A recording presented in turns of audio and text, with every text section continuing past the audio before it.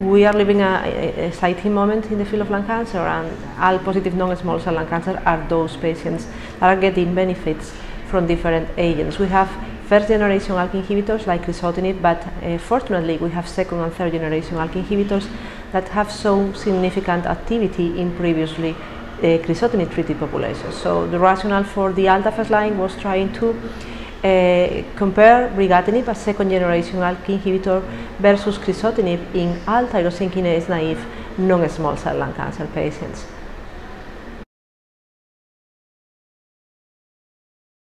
The ALTA first line, uh, as I mentioned, is a randomized phase 3 trial, a global trial, and the primary endpoint of this trial uh, was progression-free survival. Uh, this endpoint in the uh, first um, analysis has been very positive, favoring the use of brigatinib in terms of progression-free survival with a hazard ratio of 0.49. The drug is also very active at the brain level.